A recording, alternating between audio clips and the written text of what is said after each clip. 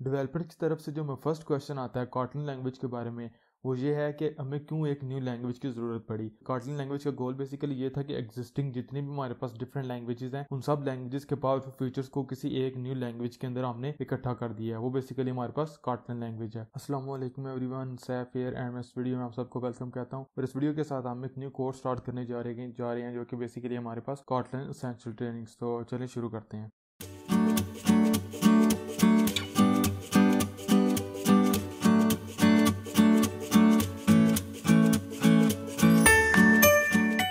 So what's up everyone welcome to your first video on Kotlin essential training so guys मैं बहुत ज़्यादा excited हूँ इस course के लिए कि हम एक न्यू चीज़ सीखेंगे, नई न्यू लैंग्वेज सीखेंगे। तो स्टार्ट करते हैं। सबसे पहले तो ये कि कॉटलन हमारे पास एक न्यू मॉडर्न लैंग्वेज है पावरफुल लैंग्वेज है, जो कि बेसिकली हमारे पास टूल मेकर्स जेट ब्रेन है, जो उसकी तरफ़ से डेवलप की गई है। और हम इंशाल्लाह इस पूरे कोर्स के अंदर कॉटलन की असेंशियल ट्रेनिंग जो होगी, वो कंप्लीट करेंगे। एक चीज़ मैं आपको बताना चाहता हूँ कि अगर आप एंड्रॉयड के लिए कॉटलन को सीखना चाहते हैं तो मैं फिर भी आपको रिकमेंड करूँगा, आप ये कोर्स कंप्लीट करें या देखें। क्योंकि जब, अगर हम ये, जब जब हम ये वाला कोर्स कंप्लीट कर लेंगे तो कार्टन लैंग्वेज की इट जो हमारे पास प्योर कार्टून लैंग्वेज है, उसकी अंडरस्टैंडिंग उसकी प्रैक्टिस हमारी होगी, वो हमें आती होगी तो इसी पूरे एग्जिस्टिंग नॉलेज को एग्जिस्टिंग कार्टन लैंग्वेज की स्किल्स को एंड्रॉयड डेवलपमेंट के ऊपर इंप्लीमेंट करते हुए हमें ज़रा भी प्रॉब्लम नहीं पेश आएगी। और इंशाल्लाह इस कोर्स के बाद नेक्स्ट हमारे पास जो कोर्स है, वो कार्टन फॉर एंड्रॉयड डेवलपमेंट ही है। तो चलिए स्टार्ट करते हैं। सबसे पहले हम देखेंगे कि हमारे पास फिलासफी क्या कार्टलैन की या हमें इस चीज़ की क्यों क्यों हमें एक न्यू लैंग्वेज की ज़रूरत पड़ी? और कॉटन लैंग्वेज के गोल की गोल की बात की जाए तो बेसिकली हमारे पास statically type language for multiple application platforms हमारे पास एक स्टैटिकली टाइप लैंग्वेज है, जो बेसिकली मल्टीपल एप्लीकेशन प्लेटफॉर्म्स के ऊपर हम उसकी एप्लीकेशन को या उस लैंग्वेज को यूज़ कर सकते हैं। मल्टीपल प्लेटफॉर्म्स के लिए एप्लीकेशन को डेवलप कर सकते हैं। तो यहाँ पे हमारे पास एक कमेंट है बेसिकली एंड्रे ब्रेसला का, जो कि बेसिकली टीम मेंबर था जिन्होंने कॉटन लैंग्वेज को डिज़ाइन किया डेवलप किया तो उसके कमेंट सिंपल इतनी है बेटर लैंग्वेज देन जावा कि जावा से एक बेटर लैंग्वेज हमने डेवलप किया है या डेवलप करनी है। इससे मुराद ये नहीं है कि जावा को पीछे छोड़ना या जावा के अंदर ऐसा बहुत ज़्यादा बड़ी प्रॉब्लम थी, लेकिन फिर भी जावा को मार्केट में आए हुए काफ़ी ज़्यादा टाइम गुजर चुका है और ये हमारे पास टाइम था। और यहाँ पे इंटेलिजेंट ने ये परफेक्ट रोल अदा किया है कि जितनी भी हमारे पास एग्जिस्टिंग जावा लैंग्वेज से हमने जो कुछ भी सीखा था उस लैंग्वेज के पावरफुल फीचर्स उस लैंग्वेज के अंदर जो हमारे पास कुछ हामियाँ थी, उनसे सीख के एक पावरफुल न्यू लैंग्वेज जो है वो बनाई गई है। और काफ़ी ज़्यादा हद तक जो है वो जावा के कोड को ही इम्प्रूव किया गया, आप कह सकते हैं कार्टलिन के अंदर इन इन इन सेंस आप ये कह सकते हैं। अगर आगे मूव की जाए मूव करें तो यहाँ पे हमारे पास हिस्ट्री है कार्टलिन लैंग्वेज की। फ़र्स्ट ऑफ़ ऑल तो ये है कि ये सबसे पहली दफ़ा ये 2011 में 2011 के अंदर हमारे पास अनाउंस हुई थी ये बेसिकली जेट ब्रेन्स ने क्रिएट किया डेवलप किया जो बेसिकली हमारे पास इंटेलिजेंट आइडिया एंड्रॉयड स्टूडियो और डिफरेंट आई मेकर्स हमारे पास एक कंपनी है, हमारे पास एक फर्म जो डिफरेंट टूल्स जो है वो बनाती है। इसका जो वरियन वन था वो बेसिकली दो हज़ार सोलह में रिलीज़ किया गया था। अब कार्टलिन की पावर का पावर का अंदाज़ा इस बात से लगा सकते हैं कि 2016 में इसका फ़र्स्ट वर्जन वर्जन 1.0 रिलीज़ किया गया था, सॉरी, फ़र्स्ट नहीं वर्जन 1.0 और 2017 में ही एंड्रॉयड ने इसको as a first class citizen language Android development के लिए अडॉप्ट कर लिया। यानी कि गूगल ने इसको 2017 में अडॉप्ट कर लिया first class language for the Android development और कार्टलिन का 1.2 वर्जन जो था वो बेसिकली नवंबर 2017 में रिलीज़ हो चुका है। और एक चीज़ इंपॉर्टेंट यह है कि चूँकि ये बेसिकली अभी डेवलपमेंट के अंडर डेवलपमेंट है ये लैंग्वेज अभी तो काफ़ी ज़्यादा फ्रीक्वेंट रिलीजेज इसकी आ रही होंगी। लेकिन एक चीज़ जो पावरफुल है, वो ये है कि जिस तरीके से हमारे पास एंड्रॉइड बैकवर्ड कंपेटिबल है। Same way and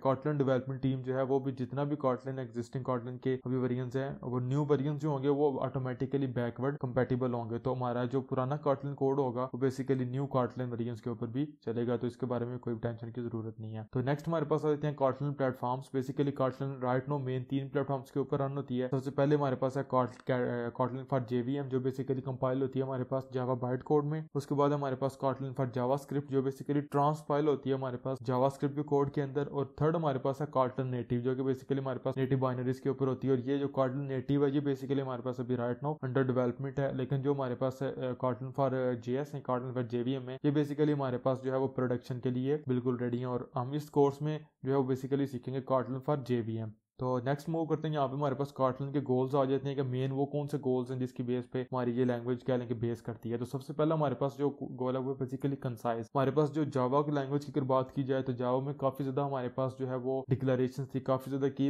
इस तरीके के थे जो बेसिकली रिडंडेंट थे जिनकी डुप्लीकेशन थी, जिनकी हमें ज़रूरत नहीं थी। तो कार्टलर ने काफ़ी ज़्यादा हद तक वो वाले एक्स्ट्रा या फालतू जो की थे वो रिमूव कर दिए और हमारा कोड बहुत कंसाइज और कह लें कि बहुत थोड़ा कोड हमें करना पड़ता है। यानी कि अननेसेसरी जो चीज़ें हमें डिक्लेयर करनी पड़ती थी, वो हमें नहीं करनी पड़ती। सेकंड नंबर भी आप देख सकते हैं generates code that has to be explicit in Java तो वो वाला काफ़ी ज़्यादा कोड जो हमें एक्सप्लिसिटली जावा के अंदर लिखना पड़ता था, वो काफ़ी ज़्यादा फीचर्स वो सिंपली रिप्लेस कर दिए गए हैं कुछ एक लाइन्स के साथ तो कुछ कीवर्ड्स के साथ। तो काफ़ी ज़्यादा जावा के अंदर जो एक्सप्लिसिट कोड था, वो बेसिकली हमें इंटरनली ऑटोमेटिकली कॉटन के अंदर मिल जाता है। और थर्ड आपके पास है कि सेमी कॉलन नॉट रिक्वायर्ड तो ये भी है कि हमारे पास जो सेमी कॉलन है, वो कॉटन में रिक्वायर्ड नहीं होते। ऑप्शनल है, आप दे सकते हैं, लेकिन अगर आप नहीं भी देंगे तो सिंपल एक न्यू लाइन फ़ीड जो होता है। कंपाइलर उसी से जज कर लेता है या आइडिया ले लेता है कि बेसिकली यहाँ पे जो मेरी स्टेटमेंट है वो टर्मिनेट हो चुकी है। नेक्स्ट अगर मूव करें तो यहाँ पे हमारे पास आ जाता है कि सेफ्टी पॉइंट ऑफ़ व्यू से देखा जाए तो यहाँ पे कार्टलन मेन रोल अदा करती है या इसका सबसे ज़्यादा क्या लेंगे पावरफुल जो इसका फीचर है वो यहाँ पे है कि कार्टलन हमारे पास जो नल पॉइंटर एक्सेप्शन होती है होती है उसको बहुत ही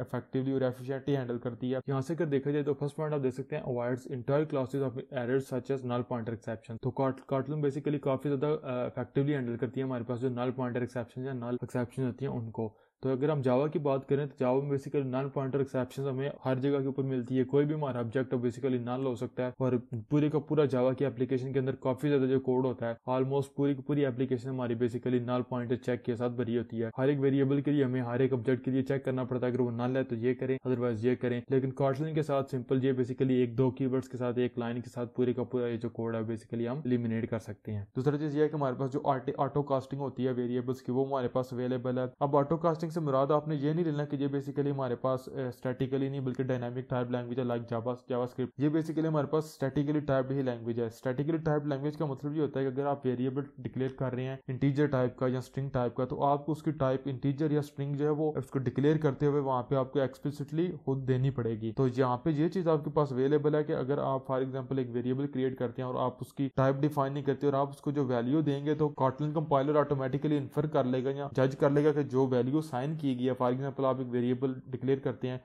उसको स्ट्रिंग की वैल्यू साइन करते हैं तो कॉटलिन कंपाइलर ऑटोमेटिकली चूँकि स्ट्रिंग साइन की गई है तो ये ज्यूम कर लेगा कि ये वेरिएबल स्ट्रिंग टाइप का है। लेकिन फिर भी ये हमारे पास स्टैटिकली टाइप लैंग्वेज है डायनामिकली टाइप लैंग्वेज नहीं है। नेक्स्ट हमारे पास ये है कॉटलिन गोस के अंदर इंटरपरेबल यहाँ। इसका मतलब ये है कि आप कॉटलिन का कॉटलिन फॉर जेवीएम जो कोड है, वो बेसिकली आप मिक्स कर सकते हैं किसी भी दूसरी जेवीएम लैंग्वेज के साथ लाइक जावा है या ग्रूवी है या स्केल है। कोई भी ऐसी लैंग्वेज जो हमारे पास जेवी जेवीएम बेस्ड लैंग्वेज है जावा है स्केल स्केल है, हमारे पास ग्रूवी है, उनके साथ आप कॉटलिन को साइड बाय साइड जो है, वो यूज़ कर सकते हैं। साइड बाय साइड से मुराद ये है कि एक ही एप्लीकेशन के अंदर कॉटलिन का कोड और जावा या कोई भी जेवीएम लैंग्वेज का कोड जो है वो आप यूज़ कर सकते हैं। और दूसरा ये है कि कॉटलिन का जो कोड होता है, जो जो जेवीएम के ऊपर काम करता है सेम सेम उसी तरीके से वो कोड हमारे पास, हमारे वेब ब्राउज़र के ऊपर भी काम करता है। तो ये हमारे पास गाइज़ कुछ इंपॉर्टेंट एस्पेक्ट्स है जावा कॉटलिन लैंग्वेज की। हमने थोड़ी सी थोड़ा सा इंट्रोडक्शन देखा, कुछ कुछ कुछ इंपॉर्टेंट फीचर्स कुछ इंपॉर्टेंट पॉइंट्स देखे कॉटलिन के बारे में। तो मैं इस वीडियो को यहाँ पे स्टॉप करता हूँ। इंशाल्लाह नेक्स्ट वीडियो में आपसे मिलता हूँ, जिसमें बेसिकली हम अपना डेवलपमेंट इन्वायरमेंट जो होगा, जो रिक्वायर्ड टूल्स हैं, जो बेसिकली हमें रिक्वायर्ड है कॉटन डेवलपमेंट के लिए तो वो हम इंस्टॉल करेंगे और उसके बाद हम कॉटन के डेवलपमेंट की तरफ़ मूव करेंगे। तो आई होप सो आप लोगों को क्लियर हो चुका होगा। तब अगर आप लोगों को ये वीडियो पसंद हुई हो तो प्लीज़ लाइक कीजिएगा वीडियो को शेयर कीजिएगा, मेरे चैनल को सब्सक्राइब करें। I am personally really excited to learn a new language and